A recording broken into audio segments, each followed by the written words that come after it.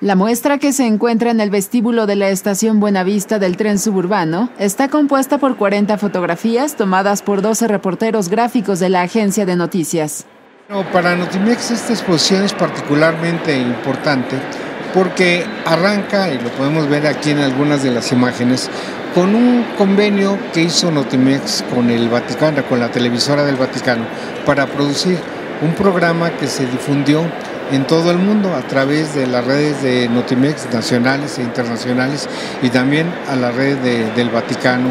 Entonces fue un programa que llegó a, a 200 mil medios de todo el mundo. Entonces yo creo que también eh, estas fotos muestran la diversidad del país, la diversidad de, las, de la población, desde la población de las ciudades hasta la población indígena, y teniendo como, de, como un denominador pues esta fe en la religión católica, pues que es eh, predominante en México, y en particular donde también coincidieron con el Papa una fe en torno a la Virgen de Guadalupe, de la cual el mismo Papa se declaró creyente. Yo pienso que esta muestra fotográfica refleja muy bien esta, esta visita, pues que sí que resultó pues eh, muy importante, la primera que hizo el Papa a México, e inolvidable para muchos mexicanos.